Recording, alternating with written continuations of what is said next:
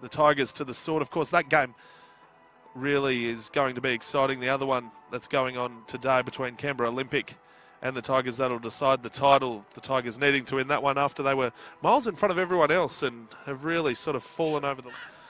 Now here to Comataldo. Plays it back in, oh, beats everyone, and Gerbisher!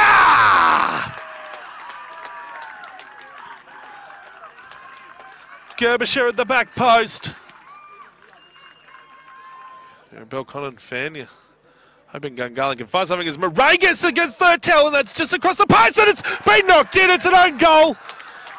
Costanzo knocked it into his own net as Barrack looked to play it across.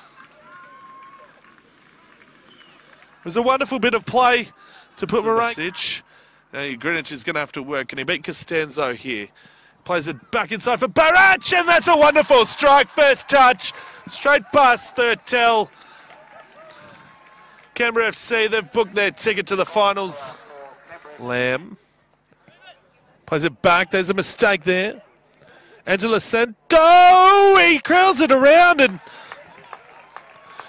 there's life in this one yet.